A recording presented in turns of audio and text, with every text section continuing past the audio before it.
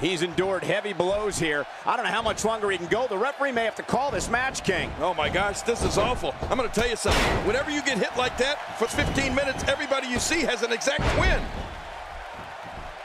He's not exactly popping up to his feet here. Well, what do you expect, Michael? Did you see what just happened?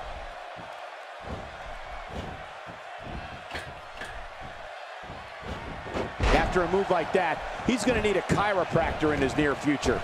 Nice move. He almost makes that look easy. The ref gets absolutely flat. Oh, boy, did he get dropped or what?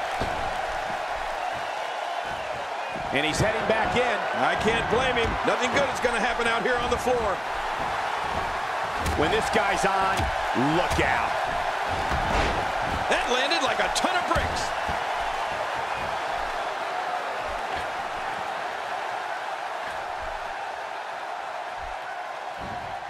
Oh, and he eats the canvas.